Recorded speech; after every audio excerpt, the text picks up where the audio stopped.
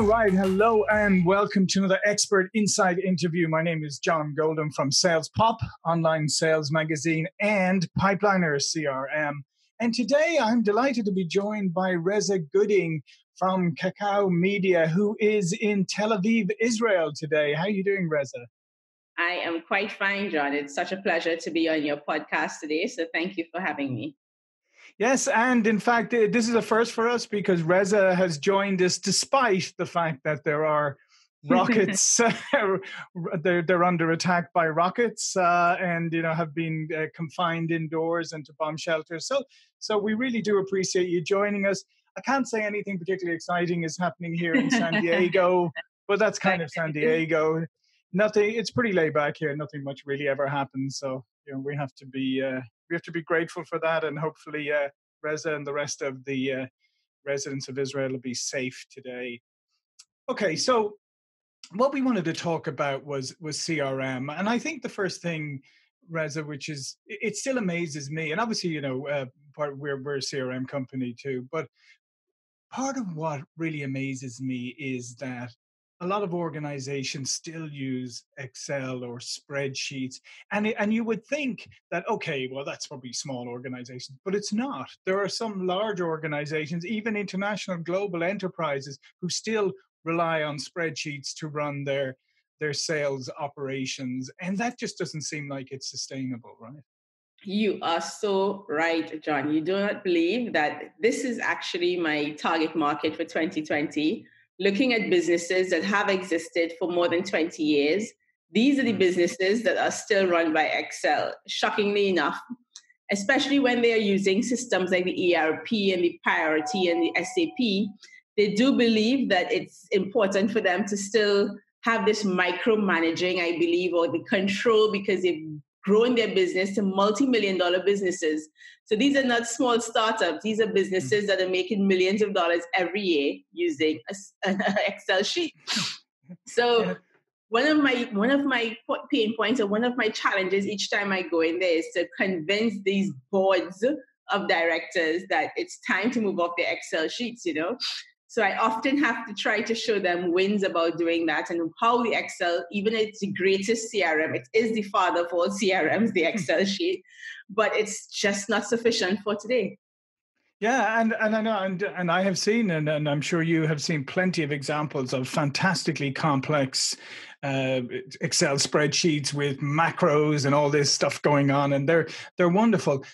The problem is that they're often created originally by somebody and then taken over by somebody else and then somebody and before you know it nobody really knows how to operate the thing and it's just been there exactly. but it can't it can't be updated. It's not dynamic.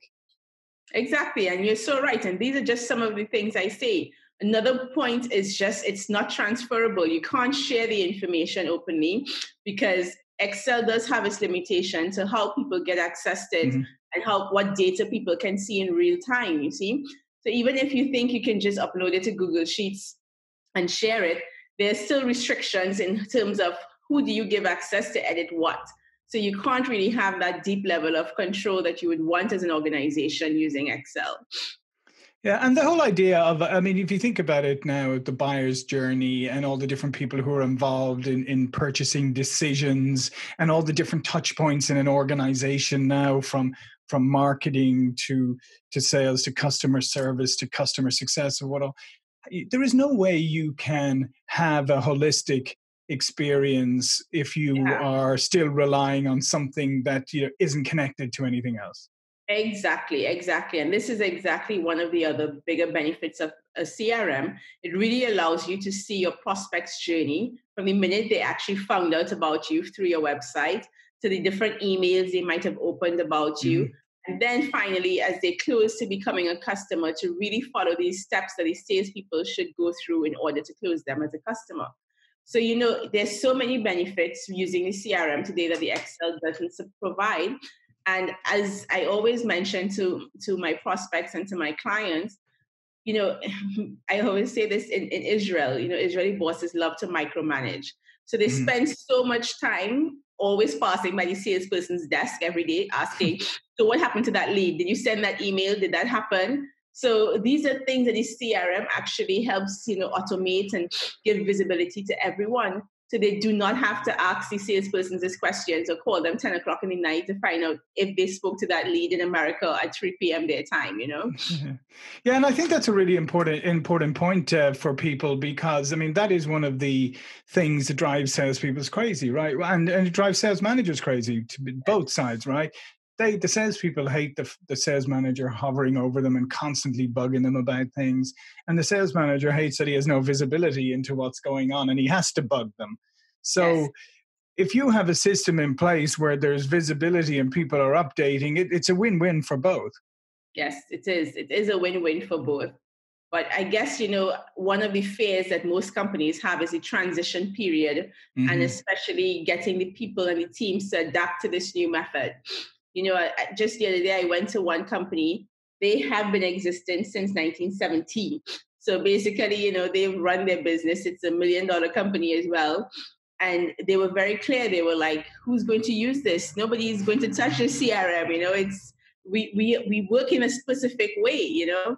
So one of the things you really have to try to do is figure out as well how to make it easily adaptable for the yes. clients, you know, especially when it's you're talking about these very traditional companies that the adapters or the users of the system will be a bit older in age, so they're very much not really tech oriented.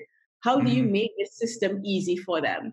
You know, and it reminds me of kind of like uh, being in math class, basically. You know, when, when you were a student, there were some students who were slower than others, and you had to break things down or repeat it 10 times before they get yeah, it. That, that was me in math class for sure. exactly, right? so, this is the whole thing, even with implementing a CRM. I think a big part of it is the training period and really mm-hmm. trying to make it easy and trying to give them baby yeah. steps and not trying to show them all the powerful tools all at once. Yeah, I, I think that's another critical point is uh, that people often do try and boil the ocean, and that's the wrong thing to do.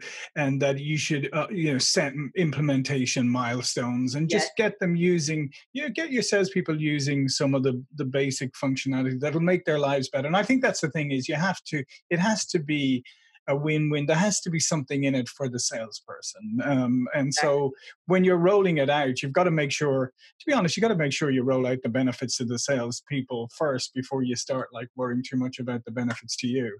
Exactly, exactly. And even look at the other key stakeholders in the system, you know. So even if the managers or the management team really need to see the reports, how do you generate better reports for them that makes it easier for them to receive mm-hmm. these reports in real time? That they too don't have to bother the salespeople for these things, you know.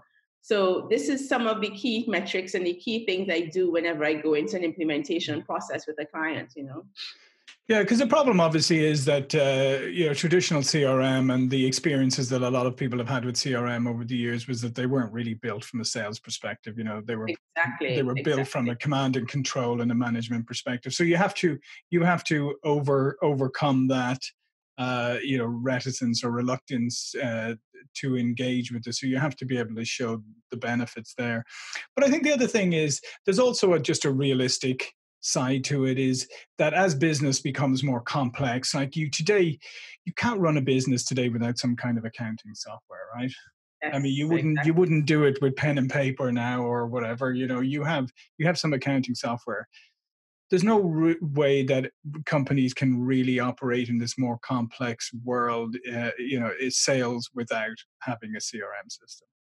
Yes, you're absolutely right. And it's even more so why they even begin to get interested is because the competitiveness out there is harsh. Mm-hmm. They yeah. are losing their market share because their competitors, especially these savvy startup companies that can do something just as well as they are, are using CRM. So they are talking to their customers directly now they are reaching bigger market shares. So this is something that they had to consider as well, these traditional companies, because I think what they missed in their time of growing from the 70s to now is that they usually use something which is the field marketing process, really. You know, they mm-hmm. had boots on the ground, finding their contacts and making sure they close those deals on the ground but it's just not sufficient or scalable because you cannot have an employee base of 20,000 people, just salespeople all over the world. And just realistically, you won't reach everyone like that.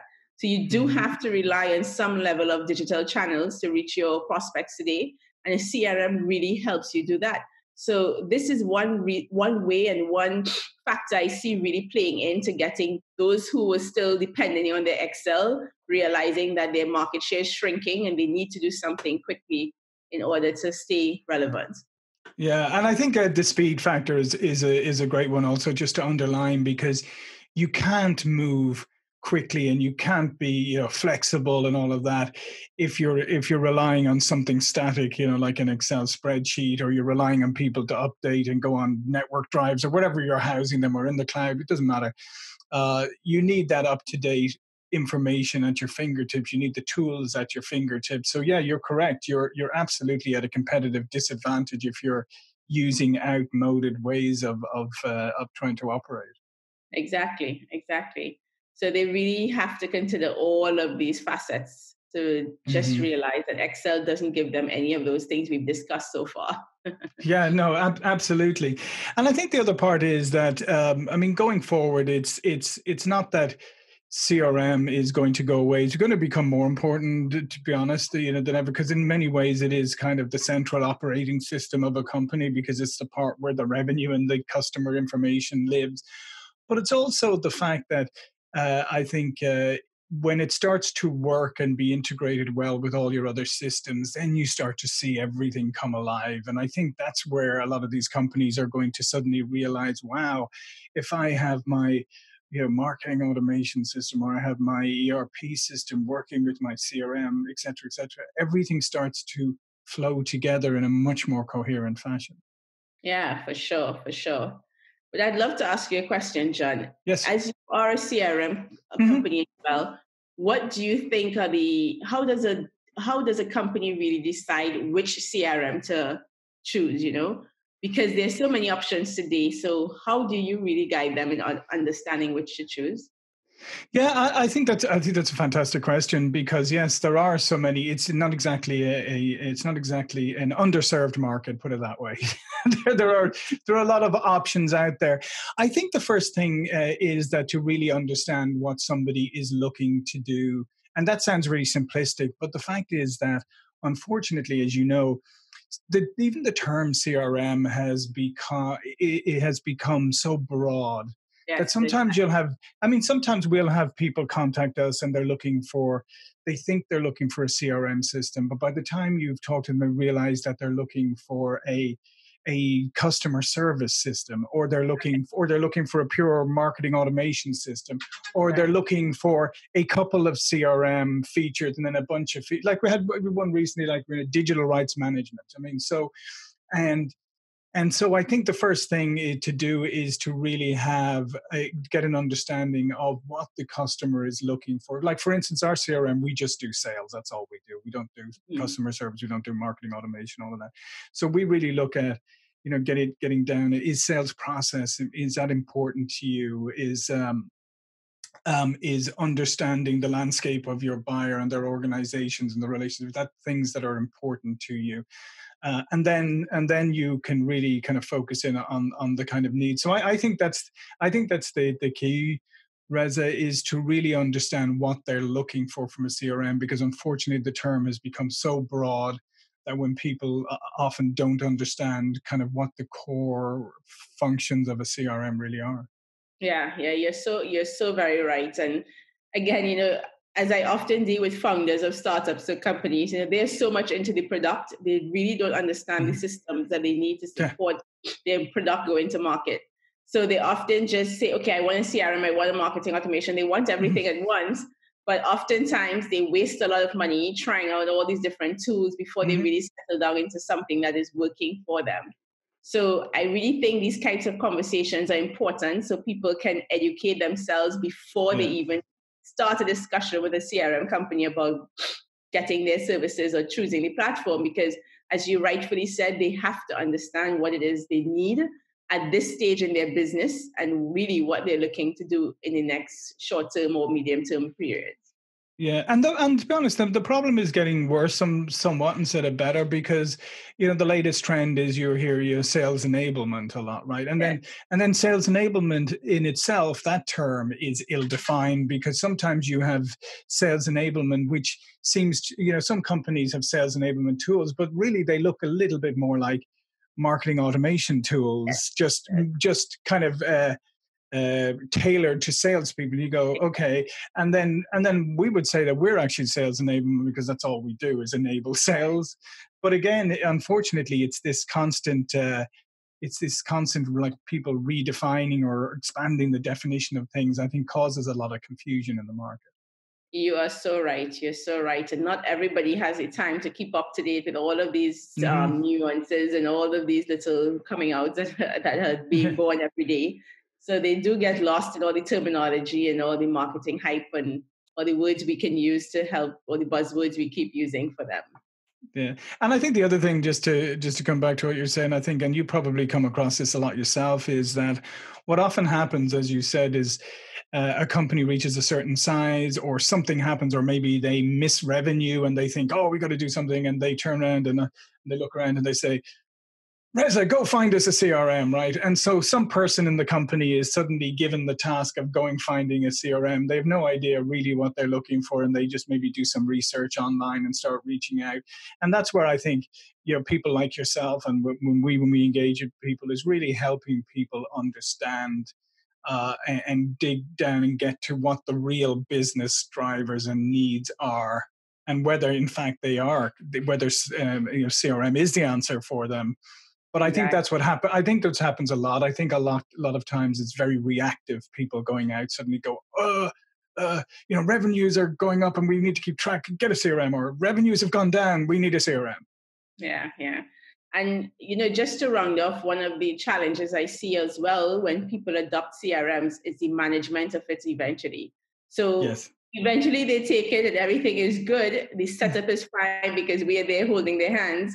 But the minute we step out of the engagement and they don't have a responsible person who's dedicated to managing mm-hmm. that CRM, it all goes down the drain from there. So, yeah. you know, this they have to understand is also a very important role. They need to have a dedicated person who is really managing it because the CRM foundation is the contacts, right? So it's as good as the contacts they're collecting and the information they're collecting on those contacts. So mm-hmm. if they're not mining this very carefully, they find themselves not knowing anything that's happening in their CRM eventually. Yeah. And I think the other thing there, there is that the executive sponsorship has to stay in place as well, yes. because that's, and, and this doesn't, and this isn't just a CRM problem. This is a software problem. And, and often any, any kind of initiative that you undertake at an organization is sometimes at the beginning, executive management will come in and be, okay, uh, yeah, we're 100% behind this or whatever. And then once it's rolled out, you never hear from them again and therefore the the people in this case the salespeople go oh that was just that was just the flavor of the month initiative. They don't care about it anymore so i don't care about it anymore. Yes, it has to yes. be reinforced. Yes you are so so right. So this was a great conversation. I love the way we managed to sum up everything both of us having this crm experience. I think your listeners will have a very rounded view of what it is happened and what it is that's needed for CRM. So maybe we sum it up, John, and you give yeah. one point, I give my point, and then we come up with all the points that we say you should um, consider um, before getting a CRM. Yeah, yeah. No, we can round it up now. I actually, what would normally do is I give you an opportunity now just to tell the viewers a little bit more about yourself and what you do. Okay, so what I do basically is implement CRMs all day. Mm-hmm. but I do also the wider part of the marketing automation as well sure. and the service because I work on a platform called HubSpot. Mm-hmm. So they have all three parts on their system.